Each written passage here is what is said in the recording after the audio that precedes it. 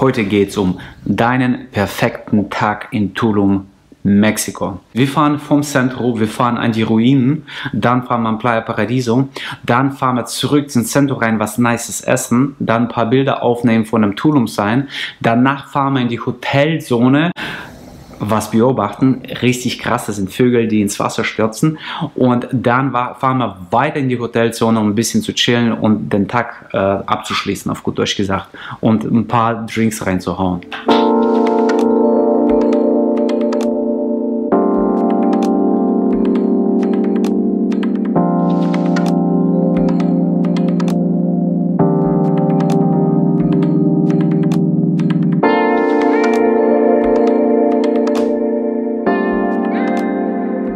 Ich war die letzten zehn Tage in Tulum und habe für mich so gedacht, okay, was mache ich hier, was mache ich dies, was mache ich das? Und dann muss ich eben so recherchieren, Leute fragen, dies, das, Ananas. Da es sehr viel Zeit verschwendet hat, dachte ich, hey, warum mache ich nicht ein Video? Stell meine Top-Sachen rein. Es gibt viel mehr, natürlich, aber das sind so die Sachen, die ich gemacht habe, die mir gefallen haben und die man an einem Tag erledigen kann. Und wenn dir das Video gefällt, die ganzen Infos gefallen, hau ein Like rein, abonniere den Kanal, weil es kommen immer mehr Videos über Mexiko und dann irgendwann mal natürlich aus anderen Ländern der Welt. Als allererstes würde ich ein Fahrrad aus. Ne, warte. Als allererstes muss ich erstmal einen Kaffee trinken. Ja? Mein Tag fängt nicht ohne Kaffee an. In Tulum gibt es jede Menge gute Kaffees, die irgendwie pro Cappuccino 2, 3 Euro verlangen. Aber es gibt auch 7-Eleven Kaffee, wo einfach ein, so, ein, so ein Filterkaffee irgendwie, weiß nicht, ich glaube, was 80 Cent kostet. Erstmal einen Kaffee holen und dann würde ich jedem empfehlen, ein Fahrrad aus, auszuleihen. Warum Fahrradausleihen? Weil der Verkehr einfach richtig krank dort ist. Es, die Straße in der Hotelzone, das ist eine Straße, die ist eigentlich sehr, sehr eng und die ist ständig voll mit beiden Richtungen. Was du mit dem Fahrrad machst, ist so an den Autos vorbeischlingen. Wenn sie irgendwie 3 Kilometer pro Stunde oder 5 Kilometer pro Stunde fahren, bist du mit 10 Kilometer, 15 Kilometer pro Stunde richtig krass schnell unterwegs. Gracias. Egal, ob du jetzt im Zentrum bist oder in der Hotelzone, Fahrrad ausleihen kann man überall. Zentrum ist billiger, Hotelzone ist teurer. Im Zentrum zum Beispiel, diese Laden habe ich gute Erfahrungen mitgemacht, ist keine Werbung, ich habe einfach gute Erfahrungen mitgemacht, kostet 5 Euro am Tag ungefähr pro Fahrrad und du musst deinen Reisepass oder dein, dein, deine ID oder deinen Führerschein, irgendein Dokument von dir als Kaution hinterlassen oder 150 amerikanische Dollar. Ich habe meinen Reisepass hinterlassen oder mein, Führer, mein Führerschein habe ich hinterlassen, alles cool, alles easy. Äh, in der Hotelzone kosten Fahrräder, ich glaube 12 Euro, 11 Euro, 10 Euro, je nachdem, was für ein Hotel das ist. Ich habe zweimal Fahrrad ausgeliehen, einmal in der Hotelzone, einmal im Centro und äh, es, die Preise gelten für 24 Stunden. Um 9 Uhr morgens ausgeliehen, um 9 Uhr morgens zurückgebracht, um 12 Uhr mittags ausgeliehen, um 12 Uhr mittags zurückgebracht, wenn du möchtest. Klar, du kannst auch davor abgeben, aber du kannst bis zu 24 Stunden rausziehen, das Ganze. Aber um sicher zu gehen, solltest du immer nachfragen, wenn du die Fahrräder ausleihst. Sind es pro Tag oder pro 24 Stunden? Ein kleiner Insider-Tipp. Wenn du ein Fahrrad ausleihst, immer checken, ob das Schloss funktioniert. Weil äh, Tulum ist an der Küste, die Luftfeuchtigkeit ist so hoch und die Schlösser, die rosten zu. Das heißt, ich habe zweimal Fahrräder ausgeliehen und zweimal musste ich sagen, hey, mach mal ein bisschen Öl rein, weil der, Schlüssel, weil der Schlüssel einfach äh, nicht so richtig gut auf- oder zugemacht hatte. Und ich hatte keine Lust, da irgendwie rumzufummeln, drei Tage lang, bis das Ding zu oder aufgeht. Also holen Sie dir WD-40, spulen das Ding rein, alles cool, alles easy.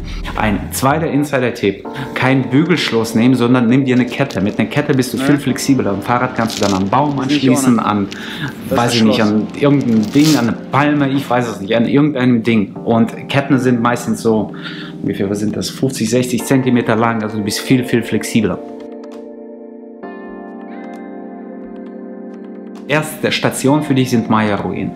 Maya-Ruinen, ich fand es richtig gut, für mich persönlich. Das ist halt da, wo die Geschichte herkommt. Wir haben die Dinge da aufgebaut. Das ist ziemlich nice an der karibischen Küste platziert. Das ist einfach interessant. Ja. Eintritt kostet 4 Euro. Hier ein Tipp, sei vor 11 oder am besten vor 10 Uhr da, weil nach 12 zum Beispiel ist die Schlange riesengroß. Ich bin an einem Tag hin und dachte, nee, das stehe ich nicht an. Das ist Wahnsinn, da stehst du wirklich eineinhalb Stunden an. Auch wenn du nach 12 kommst, äh, musst du beachten, dass die Ruinen um 15 Uhr zumachen. Da ist Feierabend um 15 Uhr. Also die Ruinen machen um 9 auf, am besten so vor 10 da sein, irgendwie eine halbe Stunde oder 15 Minuten anstehen, reingehen, 4 Euro Eintritt zahlen, rum, rumlaufen, ein paar Schilder durchlesen, so ein paar Informationen, ein paar Bilder machen, Varan beobachten, da gibt es ein paar Varan, siehst du auch, da gehst du auf jeden Fall vorbei. Ja, und äh, irgendwann mal nach einer Stunde oder eineinhalb Stunden bist du da durch. Also mehr brauchst du auch nicht. Ja. Also hier ein kleiner Tipp von mir, wenn du nicht anstellen willst und gar keinen Stress hast und irgendwie das Doppelte zahlen willst, buch dir einen Guide. Kostet 10 US-Dollar pro Person. Ja. Und die Vorteile von einem Guide, A, die ziehen dich an der, an der Schlange vorbei. Du kannst wirklich direkt mit denen reingehen, an allen Leuten vorbei. B, sie gehen rein und sie dir geben noch eine kleine Tour, die erzählen dir dies und das Ananas. Klar, die Informationen sind dann irgendwie auf Schildern, kannst du auch selber rausfinden finden, wenn du sparen möchtest. Aber mit einem Guide kannst du Fragen stellen, was auch immer, weißt du. Dann C, das ist C. C, ähm, ein Guide kann ein Bild von dir machen. Wenn du alleine unterwegs bist mit einem Guide, ist ganz geil. Dann macht er halt oder sie Bilder von dir, wann und wo du willst, ne? ohne Stress. Und hier ein kleiner Tipp für den Tipp. Wenn du einen Guide brauchst oder willst, ja, wenn du die ganze VIP-Tour haben möchtest, buch dir einen Guide nicht online, weil online sind sie viel, viel teurer. Komm da an und dann wirst du wirklich, wenn du in der Schlange stehst oder vor der Kasse, auch nicht vor der Kasse, also vorm Eingang, wo die, wo die Schlange reingeht zur Kasse, wenn du da stehst, wirst du die Guides sehen. Die laufen ihre Runden und du wirst halt jede Minute schon fast gefragt, ob du einen Guide brauchst. Die Guides gibt es in sehr vielen Sprachen. Also ich habe, als ich da war, ich habe Französisch gehört, ich habe Russisch gehört, ich habe Englisch, Spanisch, was gab es noch? Ja, ich glaube, diese vier Sprachen, diese vier Sprachen habe ich gehört und da unser Kanal ja auf Deutsch ist, ich glaube, einen deutschen Guide findest du. Muss einfach mal nachfragen. So, wir sind jetzt fertig mit diesen Ruinen. Wir schnappen uns äh, wieder den Fahrrad und fahren ungefähr, was sind das, 10 Minuten mit dem Fahrrad, also 5 bis 10 Minuten mit dem Fahrrad zu Playa Paraíso. Äh, dafür fährst du einfach Richtung Hotelzone und irgendwann mal wirst du einen äh, Eingang zum Playa Paraiso sehen. Nicht, verwechsel diese Eingänge nicht mit Beachclubs Eingängen. Playa Paraiso gibt es zwei offizielle öffentliche Eingänge, das ist das und das, habe ich hier auf der Karte markiert. Da kannst du einfach reingehen, Fahrrad irgendwie an einem Baum binden oder sonst irgendwo und dann einfach Playa Paraiso besuchen. Warum Playa Paraiso? Guck mal, das was du jetzt gerade siehst, ich meine, ist das nicht krass? Ist das einfach die Palmen, das Meer, der Sand? Das ist einfach krank. Das ist einfach krank. Und ich, ich persönlich, ich bin gerne Playa Parisa allein, einfach um zu checken. Alter, du bist jetzt gerade, du bist jetzt, du bist jetzt gerade in so einem, so einem, so einem Postkartenstrand. Weißt du, das geht gar nicht klar. Wichtig zu sagen, dieses Video ist nicht farbkorrigiert. Das ist wirklich so, wie du es siehst, ist wirklich so vor Ort. Und das Wasser ist genauso blau und der Sand ist genauso weiß. Ja. Tipp zu Playa Paraiso, eigentlich gibt es nur einen, nimm deine Sonnenbrille mit.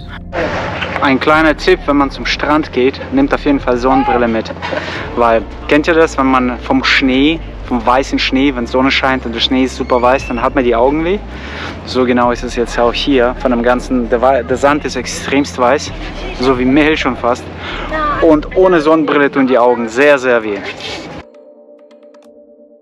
Wir sind jetzt fertig mit Playa Paraíso, springen wieder auf unser Fahrrad und fahren in die Stadt rein, durch die Stadt durch zu El Cameo Junior. I think, ich glaube, ich, ich, ich habe das richtig ausgesprochen, El Cameo Junior. Warum dort essen? Keine Werbung, das ist wirklich so. A ist es ein sehr lokales Restaurant. Das sind sehr viele Einheimische, die dort essen. Ich war da zwei oder dreimal schon und äh, wenig Touristen, viele Einheimische, sehr gute Preise, sehr gute Portionen und das ist krass, krass lecker. Wie du siehst, ich habe hier diese Sachen äh, für mich bestellt. Ich habe äh, eine kleine, das ist eine kleine Portion, Portion Ceviche Mixto, also gemischte Ceviche oder Ceviche, wie man das ausspricht eine kleine Portion. Es gibt klein, mittel und groß und das ist eine kleine und meiner Meinung nach reicht diese kleine für zwei Leute. Dann habe ich eben diese Suppe mit Meeresfrüchten bestellt, richtig krass gefüllt mit Krabbenfleisch, mit, mit äh, Shrimps und, und Oktopus und richtig, richtig krank, richtig, richtig gut. Und äh, dann gab es eine Flasche Wasser dazu. Hier ein kleiner Tipp, in diesem Laden gibt es die Nachos und die Salsa als allererstes for free, als Snack, als Aperitif. Du kommst rein, die hauen dir gleich einen Teller Nachos rein. Das ist tatsächlich so eine chipsgroße, große Portion Nachos, bumm, äh, Salsa. Und je nachdem, wie dein Appetit ist oder wie viel Essen du schaffst, musst du gucken, weil diese Nachos, die sind gut. Und du sitzt da und wartest aufs Essen und bist ganz Zeit am Knabbern, Knabbern, Knabbern, Knabbern. Und irgendwann, bis das erste Essen rankommt, bist du so, fuck, ich habe ich hab, ich hab eigentlich gar Hunger mehr. Fertig mit dem Essen, aufs Fahrrad springen und dann wieder zurück äh, zur Hotelzone fahren. Dabei fahren wir hier im Zentrum an diesem Tulum-Zeichen vorbei, einfach ein paar Touristenbilder machen. Ganz geil. Zack, zack.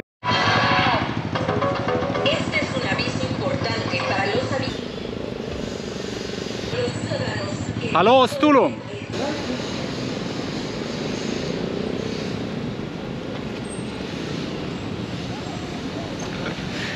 So nimmt man Selfies, wenn man alleine reist.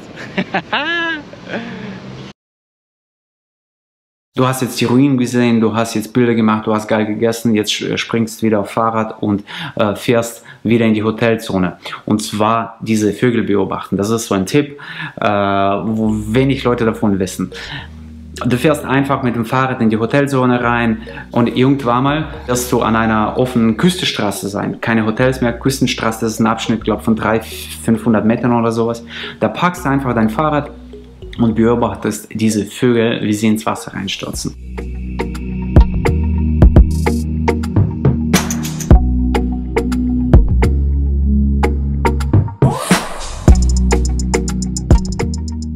Fliegen hoch, schauen von oben, wo die Fische sind und dann ballern einfach rein und äh, ja, ja, und essen diese Vögel, ne? was macht man dann sonst? Und weiter geht's. Jetzt fahren wir zu La, La Euphemia, so heißt das. Ich habe immer ein Problem, das auszusprechen. La Euphemia, das ist so ein Taco Beach Club, ganz am Ende der Hotelzone. Warum La Euphemia? Weil A gibt es günstige Tacos. Für die Hotelzone sind die Tacos einfach günstig. Pro Taco zahlst du irgendwie 1 oder 1,50 Euro. Es gibt sehr gute Drinks, die auch günstig sind. Und es gibt kein Minimum Charge für die Sitze oder für die Sun, diese Sonnenbetten oder Sonnenmatratzen da vorne am Strand. Du, das heißt, wenn du da ankommst und ein Ding ist frei, dann kannst du dich hinflacken, den ganzen Tag immer wieder was bestellen, easy peasy. Und dann wirklich so hast du so eine Beachclub-Atmosphäre mit richtig nice nice Musik mit äh, coolen Leuten um dich rum, Wasser irgendwie 10 Meter vor dir und äh, es kostet dich so gesehen nichts, weil eben äh, normale Beachclubs, diese fancy Beachclubs, da hast du Mindestverzehr pro Person 50 Dollar, US-Dollar oder 100 US-Dollar. Hier ein Hinweis, es ist auf dieser Seite des Strandes gibt es keinen Sonnenuntergang. Sonnenuntergang geht, geht, dann zu deiner rechten Schulter unter, das heißt irgendwo so über den Dschungel. Äh, und du wirst, du, du wirst schon das wird schon nice sein, weil die Farben geil sind etc. Aber du wirst jetzt nicht hier die Sonne wirklich vor dir ins Wasser untergehen sehen. Das wird nicht passieren. Nichtsdestotrotz, La Euphemia ist ein, ist ein guter Laden, um abzuhängen äh, und eben äh, ja, dir gut gehen zu lassen, auf gut Deutsch gesagt. Es gibt natürlich sehr viel mehr Sachen, die man machen kann. Ich würde diese Sachen dir empfehlen und falls du noch mehr Zeit hast, dann mach halt ein paar andere Sachen, besuch ein paar Cenotes, geh irgendwo anders essen, also nicht chillen, Beachclubs, was auch immer du machen möchtest. Also falls dieses Video Sinn macht für dich, ja, also falls du Infos daraus gezogen hast, hau ein Like rein, abonniere den Kanal und falls nicht, ja, schreib mir in die Kommentare rein, was ich noch in weiteren Videos Informationen, äh, welche Informationen ich mit einschließen soll oder vielleicht Budget oder sonst irgendwas. Ich freue mich auf jeden Fall auf dein Feedback. Viele Grüße und bis bald auf diesem Kanal. Cheers.